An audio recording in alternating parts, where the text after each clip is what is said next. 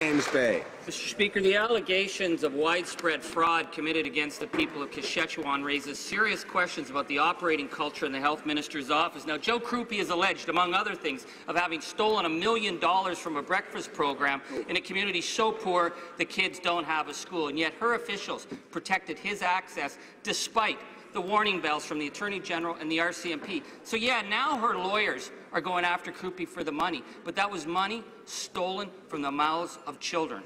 What steps will she take to make it right for the children of Kashechewan and right for the people of Canada? Honourable Parliamentary Secretary. Mr. Speaker, it's completely unacceptable when public funds intended for Indigenous peoples are misappropriated.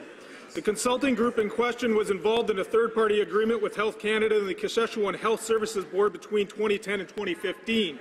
Once the department was made aware of an RCMP investigation into the consulting group, it conducted an audit of its agreements with the company. The department is now exploring its options to recover the funds that were found to be misappropriated.